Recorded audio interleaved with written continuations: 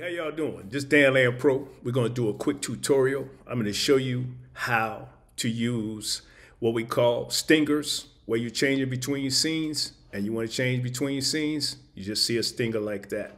So we're going to go over that right now. Let's get started.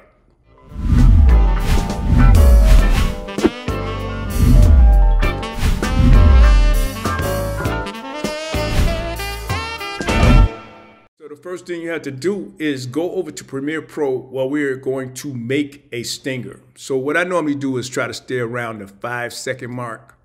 So we're gonna go and we're gonna give ourselves about five seconds to work with. And then we're gonna take our, we're gonna take our timeline out to around five seconds. I'm gonna take it out to here, which more than, which is more than I need. I'm gonna bring in some art, which is exactly five seconds, as you can see. So this is pretty much my logo. We're going to scale that logo. So I'm gonna scale my logo down so you can see it.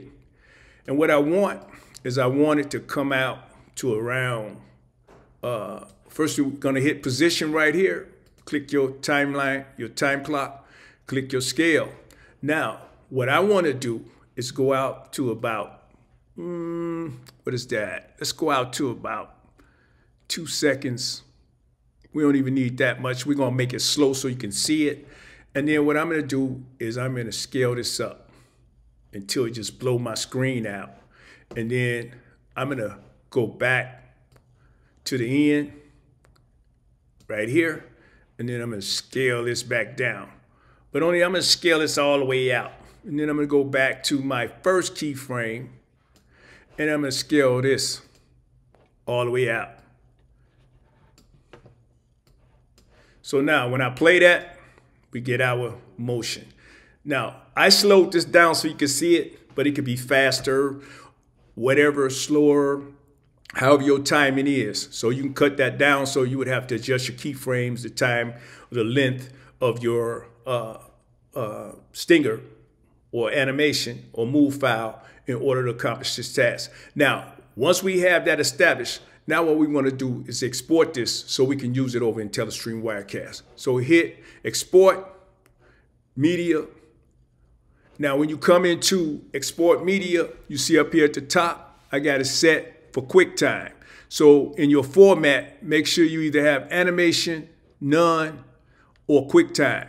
I use QuickTime because I'm going to show you how I get my uh, uh, keyframes. So when we come down, we're going to come all the way down here. And you see where it say depth? You want to click on right here with that alpha channel. So you want to make sure that's clicked with that alpha channel. And you want use maximum render quality. I use maximum, my frame sampling. You don't have to worry about none of this unless you're doing some real special stuff. Uh, we do have audio in here clicked on. So we got pretty much everything we need. So video codec right here where it say animation. You see I got animation check. You can come down here, check animation or you, whatever it is you want to check. But I use animation. But I use QuickTime animation and then make sure you got that uh, depth with the plus alpha channel. Now I'm gonna get us a name up top here and we're gonna say Stinger logo. Stinger logo. Dot move. And then I'm gonna export that. It's going to the file, in card, export. So you see that file is being made. And now that that file is made, we're gonna go back to Wirecast. So let's go in Wirecast.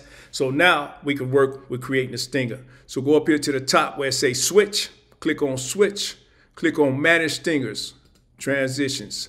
Right here, you see I already got some stingers in here, and these are the ones if I want to edit them or use them again for something else.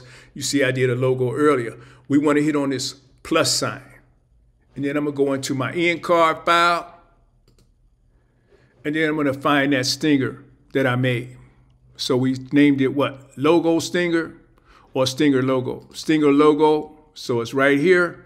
We're going to hit open. Do I want to include sound? I didn't put any sound with it. So if I had included audio, I would click here and then I could rate my audio as far as how loud I want it to be in this case. Now, we can see that logo and see we could choose according to this parameter right here where we want that to be. So now I'm going to click close. So we got that in. So you see where stinger's at?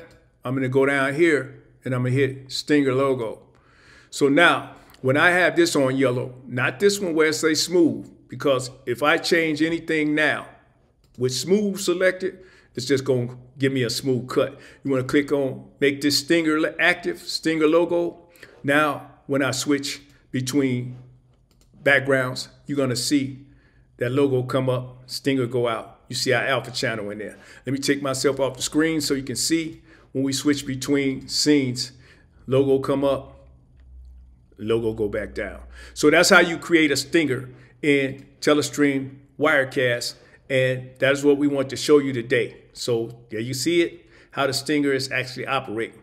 So you can make that quicker, faster. You want to make it where you can have a sound effect, a nice swish on there, a nice cinematic swoosh. You can use it in playlists to uh, uh, fluctuate between cameras. You can use it in so many different ways. So whether you want to use a logo, a swipe, anything that you want to use as a transition or stinger transition can be done in Telestream Wirecast. Okay, that's pretty much it. We showed you how stinger work. And you can do that with your logo. You can do that with your uh, anything, any type of art. So if you want to have a, a swipe, a swipe, it's just so many different ways you can put the stingers in Telestream Wirecast. And that's one of the ways we showed you here at Video for Steppers, YouTube.com, Dan Lamb Pro. Make sure you subscribe, hit that like button. Till next time, peace.